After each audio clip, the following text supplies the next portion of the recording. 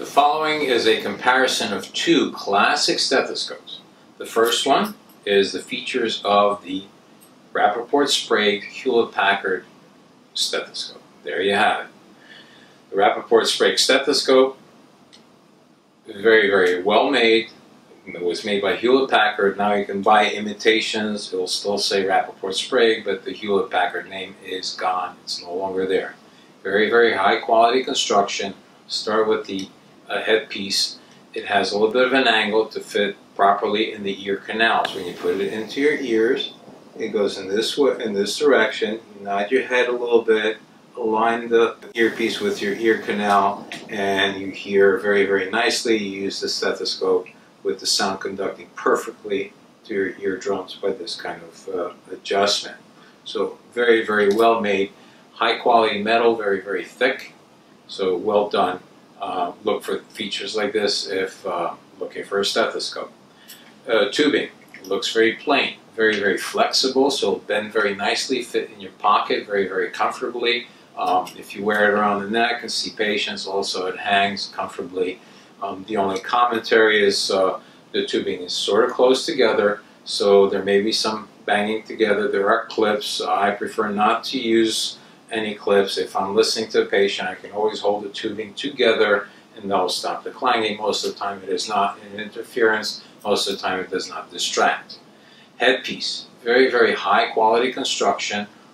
Looks like uh, just plain plastic bell, but it's sturdy, it's strong, it's all you need to listen with a bell. If you don't have a bell in your stethoscope, you don't have a full stethoscope. You need that bell. Bell, you flip, put on the chest. You make a seal just by light pressure, just to seal off room noise. So the purpose of a bell is to be held lightly against the skin, uh, light pressure. You don't need to vary necessarily, but uh, you don't press too hard, otherwise you create a diaphragm out of the skin. Speaking of diaphragms, here's the diaphragm of the Hewlett-Packard Rappaport Sprague. Uh, nothing fancy, but uh, Size-wise, it's a little smaller than our other stethoscope. When the diaphragm is used, very, very firm pressure against the skin.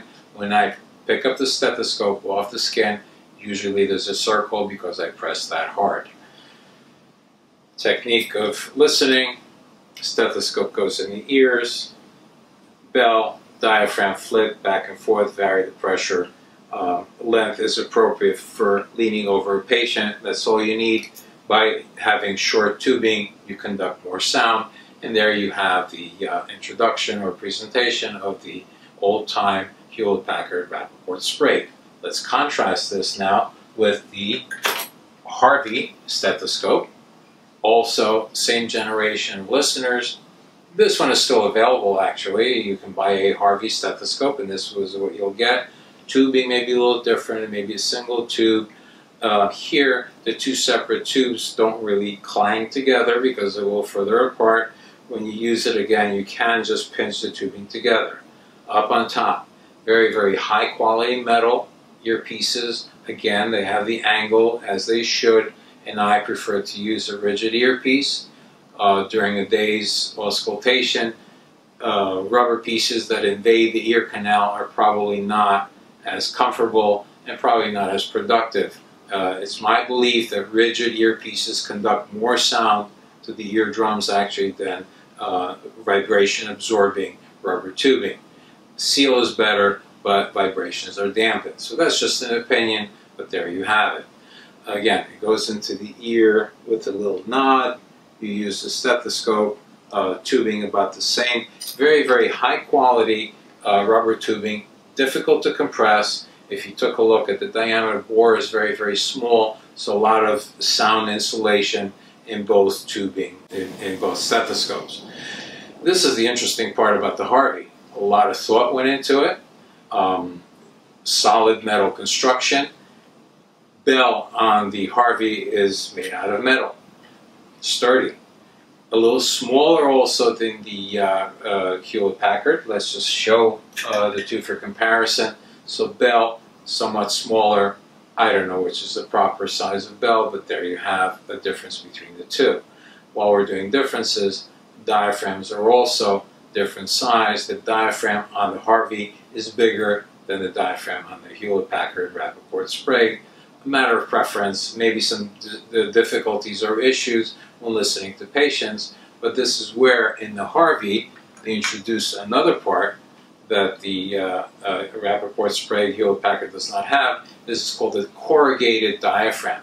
It's got some indentations in it. It's meant to be pressed with variable pressure on the skin, and that will change the nature of the sounds that one hears. But there is a diaphragm, it's not a bell, therefore, there is some filtering involved, so it's a matter of preference.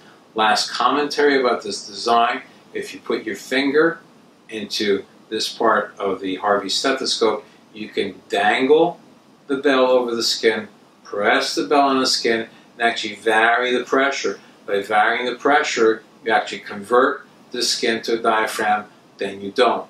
So you can vary the pressure, and with that, the nature of the sounds will uh, differ. So it's a very, very handy way to alter what you're hearing in the process of auscultation. And there you have it, a comparison between two classic stethoscopes, the Harvey and the Hewlett-Packard Rappaport Sprague.